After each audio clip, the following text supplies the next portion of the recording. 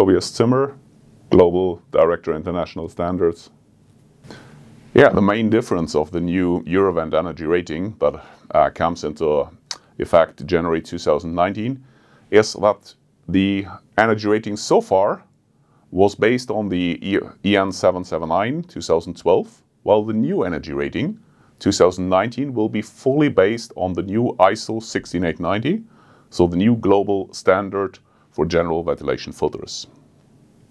The question which particle size is the most relevant for your filtration application really depends on what kind of application do you have. If you have, for instance, any supply air application in an office building or a school or a university or any other place for people, PM1 is the right choice because especially the small particles are extremely harmful to the human.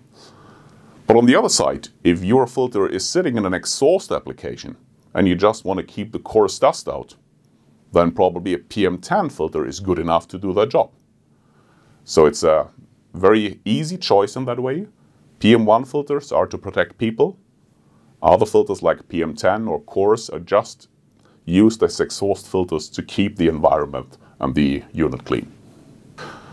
Yeah, the main differences between the old standard, the EN 779, which was the standard for general ventilation filters in Europe for many years, and the new ISO is that the, that the new ISO 16890 is much closer to reality.